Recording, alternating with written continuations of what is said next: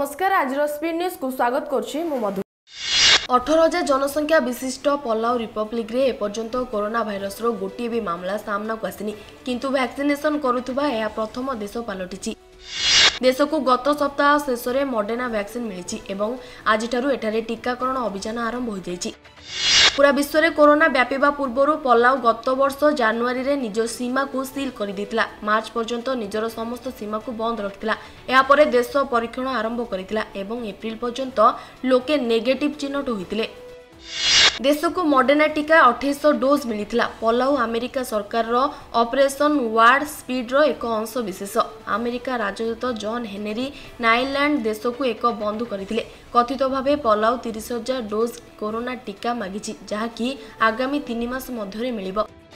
ଦେଶରେ ଜାରି ରହିଥିବା କୃଷକ ଆନ୍ଦୋଳନ ମଧ୍ୟରେ ଆଜି ଭିଡିଓ କନଫରେନ୍ସିଂ ଯୋଗେ କେନ୍ଦ୍ର ମନ୍ତ୍ରିମଣ୍ଡଳର ବୈଠକ ଅନୁଷ୍ଠିତ ହେବ। ଏ ବୈଠକରେ କୃଷି ଆଇନ ଭଳି ଗୁରୁତ୍ୱପୂର୍ଣ୍ଣ ପ୍ରସଙ୍ଗ ଉପରେ ଚର୍ଚ୍ଚା ହୋଇପାରେ। ସୂଚନା ଅନୁଯାୟୀ ବୈଠକରେ ଓବିସି ବର୍ଗ ପାଇଁ ଥିବା ଆୟୋଗଙ୍କ କାର୍ଯ୍ୟାଳୟ ବୃଦ୍ଧି ସମ୍ପର୍କରେ ମଧ୍ୟ ଆଲୋଚନା ହୋଇପାରେ। ଗତବର୍ଷ ଜୁନ୍ ମାସରେ ପ୍ରଧାନମନ୍ତ୍ରୀ ନରେନ୍ଦ୍ର ମୋଦିଙ୍କ ଅଧ୍ୟକ୍ଷତାରେ ହୋଇଥିବା ମନ୍ତ୍ରିମଣ୍ଡଳର ବୈଠକ ଅନୁଷ୍ଠିତ ହୋଇଥିଲା। ଏଥିରେ ଓବିସି ବର୍ଗୀକରଣ ପ୍ରସଙ୍ଗର ଯାଞ୍ଚ କରୁଥିବା ଆୟୋଜକଙ୍କ କାର୍ଯ୍ୟକାଳକୁ ଛଅ ମାସ ଅର୍ଥାତ୍ ଜାନୁଆରୀ ଏକତିରିଶ ଯାଏଁ ବୃଦ୍ଧି କରିବାକୁ ମଞ୍ଜୁରୀ ମିଳିଥିଲା। ଆଜି ନିର୍ଦ୍ଧାରିତ ମନ୍ତ୍ରିମଣ୍ଡଳର ବୈଠକରେ ଆୟୋଗଙ୍କ କାର୍ଯ୍ୟକାଳ ବୃଦ୍ଧି ପ୍ରସଙ୍ଗରେ ଚର୍ଚ୍ଚା ହୋଇପାରେ।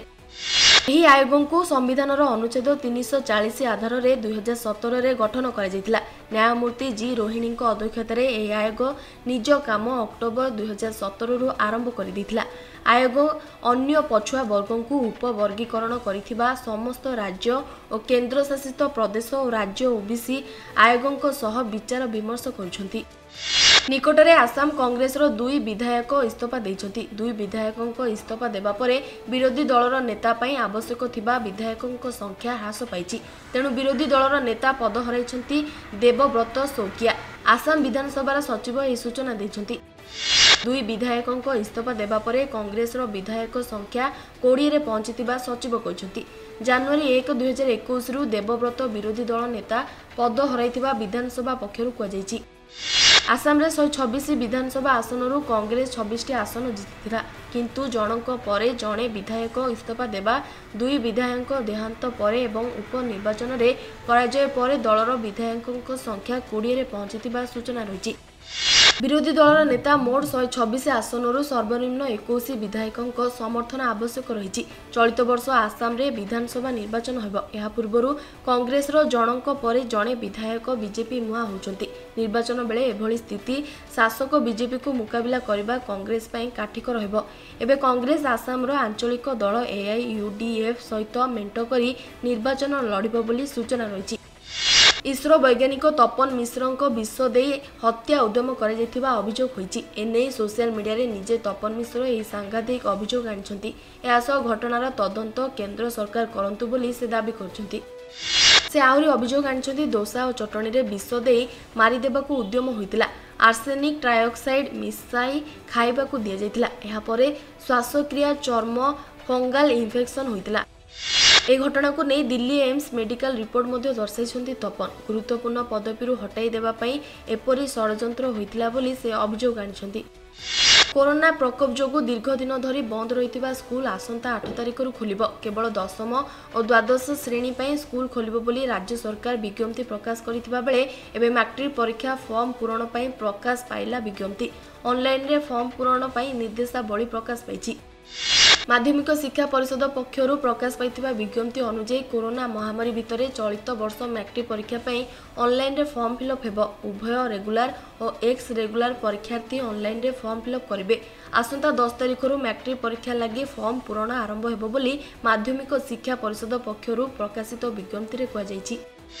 ଏହା ଅଠେଇଶ ତାରିଖ ଯାଏଁ ଚାଲିବ। ତେବେ ଫର୍ମ ଫିଲ୍ଅପ୍ ପାଇଁ ଜାନୁଆରୀ ସତେଇଶକୁ ଫିକ୍ସ ଦାଖଲ ଶେଷ ଦିନ ରଖାଯାଇଛି। ଅନ୍ୟପକ୍ଷରେ ଜାନୁଆରୀ ଅଠେଇଶରୁ ଫେବୃଆରୀ ଏକ ତାରିଖ ରାତି ଏଗାରଟା ପଇଁଚାଳିଶ ଯାଏଁ ଜରିମାନା ସହ ଫର୍ମ ଫିଲ୍ଅପ୍ କରାଯାଇପାରିବ। ତେବେ ଜରିମାନା ସହ ଫର୍ମ ଫିଲ୍ଅପ୍ ଶେଷ ଦିନ ଫେବୃଆରୀ ଦୁଇ ତାରିଖ ରହିଛି। ୱେବସାଇଟ୍ରେ ଫର୍ମ ପୂରଣ ପାଇଁ ଲିଙ୍କ ଓ ନିର୍ଦ୍ଦେଶାବଳୀ ଉଲ୍ଲେଖ ରହିଛି।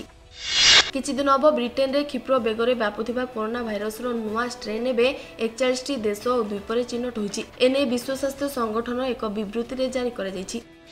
ବ୍ରିଟେନରେ ଦେଖାଦେଇଥିବା ଷ୍ଟ୍ରେନ୍ର କରୋନା ଭାଇରସ୍ ପାଖାପାଖି ଏକଚାଳିଶଟି ଦେଶ ଦ୍ୱୀପ ଅଞ୍ଚଳରେ ଚିହ୍ନଟ ହୋଇଛି। ବିଶ୍ୱ ସ୍ୱାସ୍ଥ୍ୟ ସଂଗଠନ ଅଧୀନରେ ଆସୁଥିବା ଛଅଟି ଅଞ୍ଚଳ ମଧ୍ୟରୁ ଏହି ଭାଇରସ୍ ପାଞ୍ଚଟି ଅଞ୍ଚଳରେ ଚିହ୍ନଟ ହୋଇଥିବା ଡବ୍ଲ୍ୟୁଏଚ୍ଓ ସୂଚନା ଦେଇଛି। ଏହାଛଡ଼ା ଷ୍ଟ୍ରେନ୍ର କରୋନା ଭାଇରସ୍ ଦକ୍ଷିଣ ଆଫ୍ରିକାର ଛଅଟି ସ୍ଥାନରେ ଚିହ୍ନଟ ହୋଇଛି।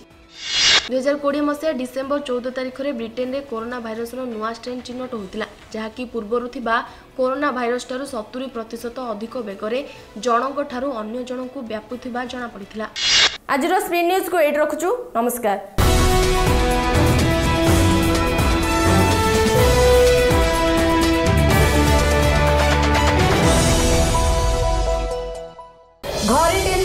ବାହାରେ ବି ଟେନସନ। ପୁଅର ଚାକିରି ପାଇଁ ହଉ ଝିଅର ବାହାଘର ପାଇଁ ହଉ। ଘରେ ଅଶାନ୍ତି ମୁଣ୍ଡ ଉପରେ ଋଣର ବୋଝ।